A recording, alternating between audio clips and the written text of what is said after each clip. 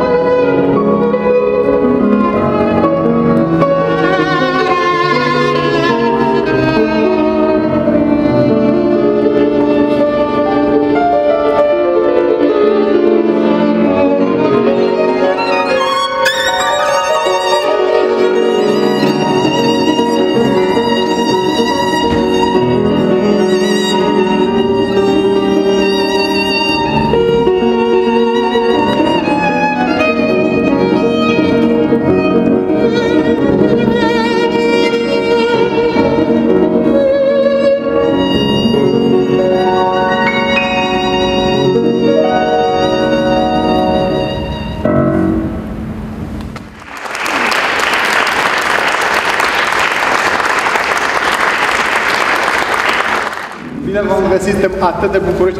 Nu, nu știu, nu vine să cred, e un miracol că suntem aici. Cunoaștem locul ăsta atât de bine, ne-am dorit atât de mult să fim aici, încât realmente nu-mi dau seama dacă închid ochii, dacă nu mă trezesc și sunt de fapt în altă parte. Am imaginat amândoi momentul de a fi aici atât de mult, încât orice, fiecare colțișor, fiecare moment din ceea ce se întâmplă acum este trăit, este dorit de a se întâmpla. Așa că sper din tot sufletul să fie realitate ceea ce se întâmplă în momentul ăsta și sper să ne bucurăm cu toții împreună de, de întâlnirea asta. e, nu știu, orice aș spune, e, ține doar de detaliul uh, prezenței noastre, cred că 15 oară, probabil, aici în, în ultimii patru ani. Și de detaliul celui de-al șaselea concert al nostru în ultimele 5 zile. Așa că, deși uh, situația e destul de uh, nesigură pe aici, pe acolo, uh, noi am încercat totuși să ducem mai departe ceea ce știm să facem mai bine și ceea ce ne place să facem cel mai mult, și anume să cântăm în fața dumneavoastră, în fața publicului. În ultimul an și jumătate am fost nevoiți să ne reorientăm și către uh, prezența online, către capacitatea de a ne adresa publicului și indirect. Suntem mulțumiți să tehnologia ne permite să facem lucrul ăsta. Dar uh, nimic nu înlocuiește contactul direct, contactul cu dumneavoastră și bucuria de a fi în fața publicului. Așa că de data asta am uh, inventat un alt motiv să fim aici. Motivul se numește România Universalis, un uh, proiect care se bazează pe o idee aparent facilă și la îndemâna multora, la îndemâna oricui se gândește la cultura românească, dar pe care am văzut-o aproape deloc pusă în practică, și anume a arăta diversitatea, bogăția și uh, conținutul extrem de vast și de variat al culturii românești. Cum să facem lucrul acesta? Foarte simplu. Facem un program din lucrări desemnate de compozitori români, dar fiecare de o altă etnie sau de o altă naționalitate, de o altă origine. Și în felul ăsta trecem prin o sumedenie de surse de inspirație, de resurse culturale până la urmă, ca să arătăm cât de bogată este cultura română și, de fapt, unicitatea culturii noastre, care constă în tocmai structura aceasta de pază și care adună, până la urmă, uh, totul se adună într-un uh, într-un lucru nou, într-un lucru care nu se găsește nici în altă parte a Europei și cu atât mai puțin în, în zona noastră. Sunt, suntem înconjurați de culturi destul de uh, caracteristice, de stricte, cultura maghiară, cultura sârbă, slovacii, cehii, care au într-adevăr coordonatele lor foarte precise. Noi le-am adunat pe toate germani, deci o să vedeți, sunt niște prezențe aproape neașteptate în, în programul nostru. Uh, partea aceasta de turneu uh, este un oarecare bonus pe care noi îl adăugăm proiectului, pentru că putea să se întâmple, putea să nu se întâmple, având în vedere situația care ne afectează pe toți. Uh, turneul în sine este compus cel mai mult din niște videoclipuri câte un videoclip pentru fiecare dintre piesele pe care le veți asculta în seara asta și chiar în plus, și care vor fi prefațate de câte o scurtă discuție cu câte o personalitate română, personalitate din cultura română, dar aparținând etniei sau naționalității respective. O să începem de pe data de 23 ianuarie un, uh, nu știu cum să-i spun, emoționant interviu cu maestru Eugen Doga, care își prezintă lucrarea domniei sale. Uh, este filmat în interiorul Ateneului România Stațiul Superb și de asta vă invit, dacă aveți vreme, începând cu data de 23, cu duminică, duminică 23, până pe 31 ianuarie, în fiecare seară la ora 6, vom lansa câte o premieră din uh, aceste videouri. Din muzica pe care o să o ascultați în seara asta. A fost, bineînțeles, George Enescu. Am deschis uh, proiectul acesta dedicat Zilei Culturii Naționale cu ampromptiu concertant de George Enescu și o să închidem cu un corespondent al lui uh, la nivelul culturii și muzicii europene, care este de la Valtu. Așadar, între acești mari compozitori, veți asculta mai multe lucrări semnate de compozitori români de diferite origini naționale. Iată cum este cazul următorului, aparținând unei minorități mai puțin, să zicem, cunoscute sau care să se afirme în mod vizibil, și anume minoritatea italiană. Însă Alfonso Castaldi a fost un uh, ilustru compozitor și profesor român, chiar rector al Conservatorului Bucureștean pe vremea respectivă. Și am avut plăcerea să prefațăm această discuție, această, această, această piesă cu o discuție superbă, minunată și pe, foarte pe sufletul nostru cu maestru Horia Muculescu, despre care nu știam că este reprezentant al etniei italiene. Și pe care am făcut-o, cred că acum o săptămână. Așadar, o să fie unul dintre alt dintre episoadele care sperăm să vă încânte. Continuăm cu Alfonso Castaldi, o elegie pentru vioară și pian, transformată în această variantă de către Diana, pentru că ea este în original pentru violoncel și pian. Dar uh, am îmbogățit repertoriul concertant al viorii cu această piesă pe care, în mod evident, o cântăm doar noi în această variantă, așa că ceea ce veți auzi este o premieră.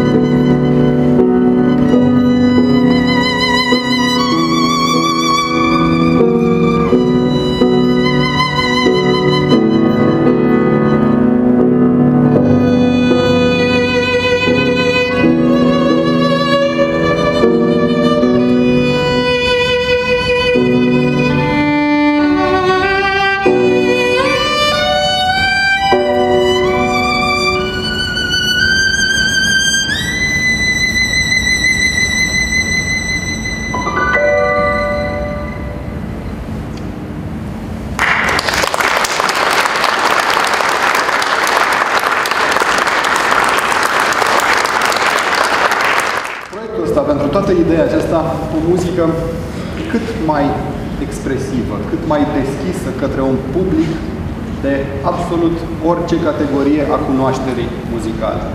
Este o muzică scrisă cu foarte mult talent, este o muzică scrisă de maestri și am făcut lucrul acesta pentru că avem această credință că binele și frumosul trebuie să ajungă la oameni, trebuie să ajungă la toți oameni.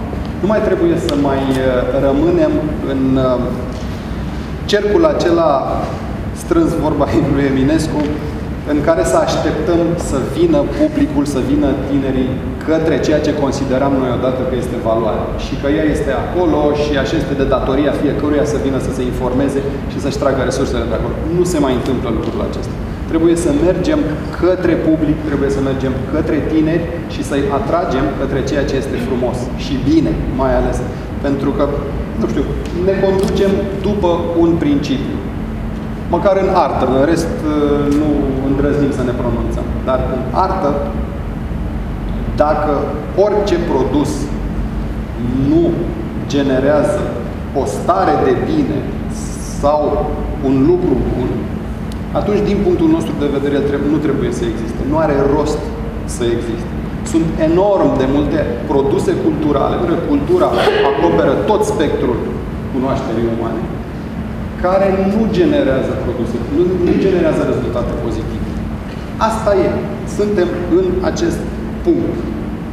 Și de asta cred că trebuie să ne concentrăm pe tot ceea ce putem să facem ca să atragem mai ales tinerii către ceea ce mai considerăm noi valoare pozitivă.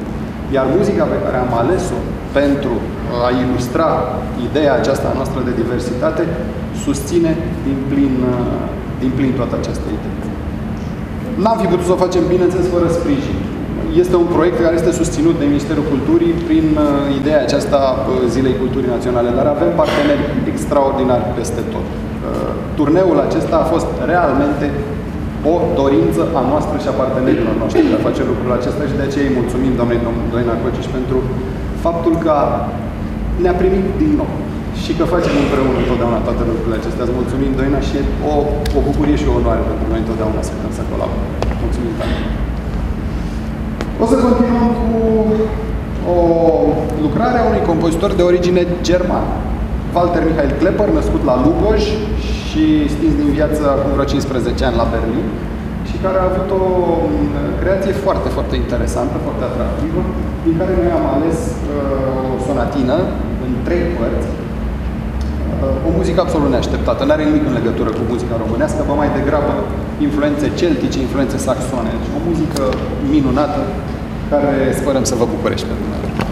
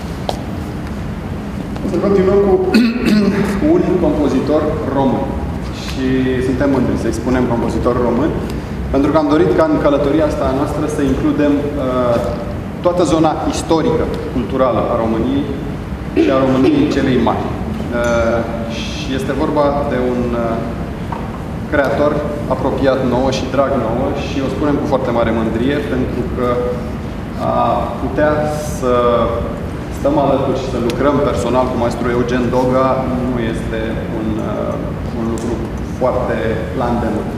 De asta suntem recunoscători pentru această prietenie pe care o avem cu maestru, cu atât mai mult cu cât am aflat acum câteva zile că una dintre lucrările domniei sale, valsul Tandra și frumoasa mea bestie, sau cam așa ceva, mă rog, poartă un nume dintr-un film, uh, devenit uh, bun UNESCO cu mulți ani în urmă, a fost uh, desemnată a patra cea mai celebră piesă a secolului al XX-lea.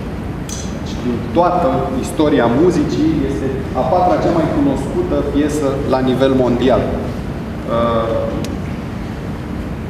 Nu George Enescu, iată, ci Eugen Doga este cel care a dus numele României și muzica românească până acolo. Și ceea ce am ales pentru astăzi este o piesă pe care noi o cântăm de foarte multe ori, cred că am cântat-o de peste 100 de ori, numai în ultimii ani, în public, și anume Balada uh, domniei sale pentru vioară și pian, cea care este de altfel și în uh, clipul și în prezentarea despre care v-am vorbit și care va fi lansată pe 23 ianuarie. Balada de Eugen Doga. E,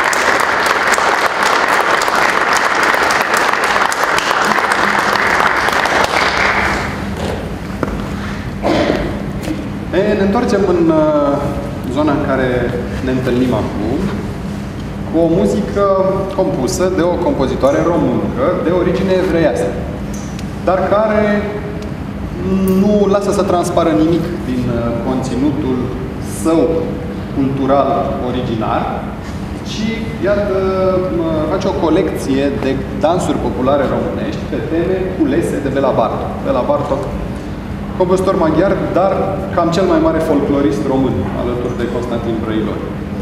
Așadar, o suită de dansuri uh, prelucrate destul de modern și foarte, foarte atractiv, cinci uh, dansuri semnate de Hilda Jerea pe teme populare românești.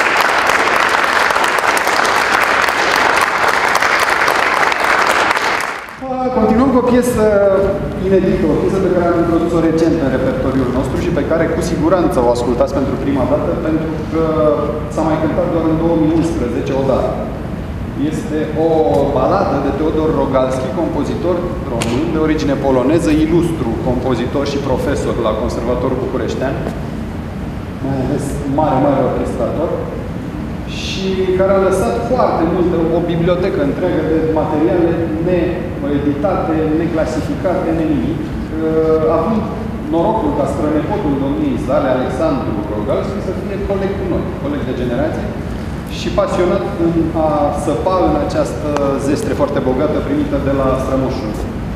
Și mai sapă pe acolo, mai scoate câte o partitură, o mai dă, se mai orchestrează și se cântă iarăși în prima audiție. Și așa am primit noi această baladă pentru vioară și pian. O, o bijuterie mai ales de modernitate în prelucrarea temelor folclorice. Bijuterii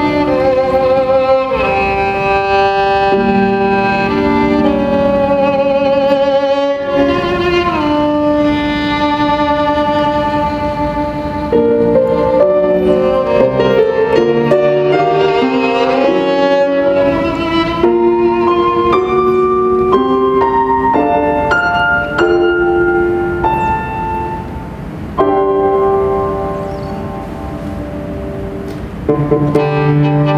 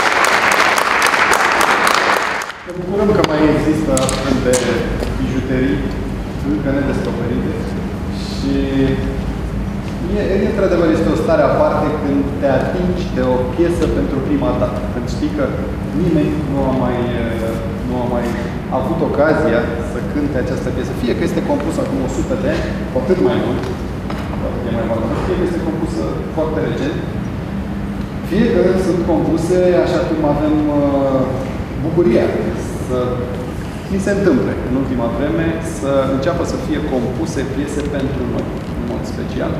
Am avut uh, la sfârșitul lunii noiembrie un proiect care s-a numit Music for All, pentru că într-adevăr am vrut să fie muzică pentru toți, în care patru compozitori, probabil cei mai cunoscuți, cei mai activi și mai importanți compozitori actuali din muzica de factură clasică românească, au scris pentru noi câte o lucrare pe care noi apoi am ilustrat-o sub formă unor videoclipuri videoclipuri în sine, cu acțiune, cu regie, cu scenografie, cu tot ce trebuie, cu dat foc la partituri, cu tot ce trebuie și pe care le, le găsiți pe internet. Uh, călătoria noastră se încheie prin uh, zonele, să zicem, prin culturile naționale cu ceea ce vă promiteam la început, cu o lucrare de Bela Bartok, dar nu se încheie și întâlnirea noastră, pentru că am, chiar am vorbit cu Diana mai devreme și am spus, nu, hai, după ce terminăm programul ăsta, să mai cântăm ceva, pentru că suntem aici și ne face plăcere și au venit atâția oameni să ne asculte.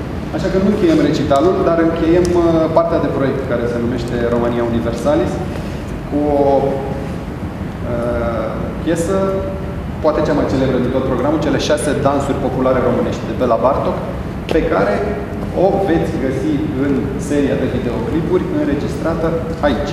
Este filmată aici și este ilustrată toată piesa cu imagini ale tavanului.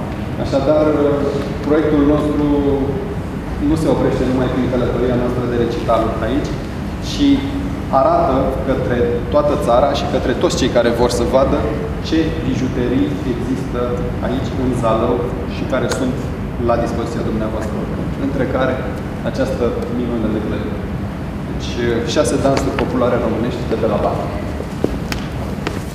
E o filmare spectaculoasă, fiind sala foarte înaltă, am reușit să păcălim drona să funcționeze în interior, pentru că în general nu funcționează din cauza că nu are GPS. Dar am reușit să facem într-un fel, operatorul talentatul Mihai Toma s-a dus la tavan și a lansat drona de acolo și sunt imagini filmate în, cu pianul jos, și cu drona care trece pe deasupra candelabrului și se reflectă în pian candelabrul. Sunt absolut minunate. S-ar zice că a fost nevoie de o regie și de aparatură specială, oricum mult mai performantă și mult mai complicată decât ceea ce a fost de fapt.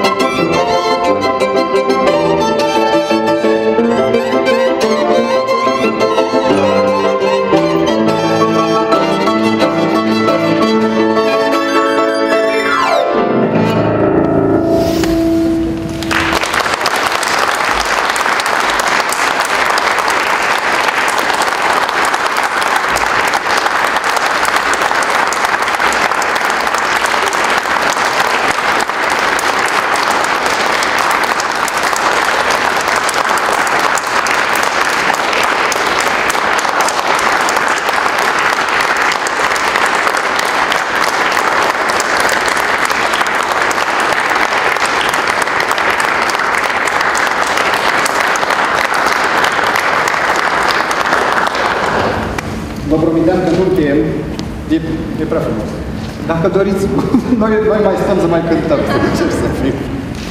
Pentru că am avut, nu știu, șansa, inspirația, cunoașterea, de ce nu, asta să mai și lăută puțin, ca anul acesta să putem să câștigăm două proiecte și nu unul pentru Ziua Culturii Naționale. Uh, cel pe care l-ați văzut până acum, România Universalis, cu turneul și cu partea de clipuri video și un altul, o idee mai veche pe care am uh, avut-o și pe care n-am propus-o până acum și iată că atunci când am propus-o a câștigat ca punctaj chiar peste acesta și care se numește Balada 2.0.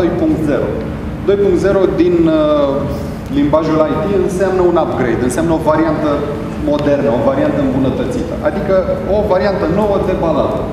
Când spunem baladă în uh, literatura muzicală românească, e clar balada de Ciprian Porumbescu. Este cea mai cunoscută piesă din creația muzicală românească de orice factură. Adică de la Dimitrie Cantemir până la Smiley. Cea mai cunoscută la nivel mondial lucrare este Balada de Ciprian Porumbescu. A fost parte din coloana sonoră a unui film numit Ciprian despre viața lui Ciprian Porumbescu, care s-a difuzat în perioada Revoluției Culturale în China, adică atunci când nu se putea vedea nimic în China. Motiv pentru care a fost văzut de un miliard de oameni acest film, încă de acum 50 de ani. Cu Vlad Rădescu, superb la 20 și ceva de ani, superb și acum, un prieten de-al nostru și cu care ne întâlnim destul de des. Așadar, pornind de la balada lui Ciprian Porumbescu, am propus-o către patru compozitori de facturi diferite. Trebuia să fie către șase, dar uh, finanțarea a fost un pic diminuată, motiv pentru care am rămas numai cu patru. Uh, către un compozitor de muzică de factură clasică, adică cam de ceea ce ați auzit până acum, Uh, cu voia dumneavoastră undeva pe listă. Suntem și noi, uh, adică o variantă pe care noi am făcut-o într-un stil clasic pop și cu care am prefațat toate filmările noastre, către bunul prieten Mihai Toma, care a realizat o variantă electro-dubstep excepțională cu Diana în prim plan, și uh, o să fie în proiectul acesta către Sorin Zlat, mare pianist de jazz și care va realiza o variantă cu triouri sau de jazz. Mai trebuia să mai fie către trupa Vank și au acceptat băieții, au fost foarte încântați și către Mandinga. Deci trebuia să avem și o variantă latină a baladei, dar asta poate într-o uh, ediție ulterioară, balada 3.0, să zicem așa. Așadar, o să prefațăm proiectul acesta, care se va lansa chiar mai devreme decât celălalt. O să fie poi mâine, prima lansare, la ora 20, pe 21 ianuarie. Va fi varianta originală, filmată și ilustrată cu imagini din Ateneul Român din București. Asta dorim să vă prezentăm și noi în seara aceasta, măcar două dintre aceste patru, pentru că celelalte nu sunt accesibile în momentul ăsta. Nu se putea eveniment dedicațiile culturii naționale fără balada de Ciprian Porumbescu și profităm de lucrul acesta să ne lansăm proiectul și să vă cântăm dumneavoastră și varianta pe care am creat-o. Așa că începem cu originalul și încheiem cu ceea ce am fost noi în stare. Thank you.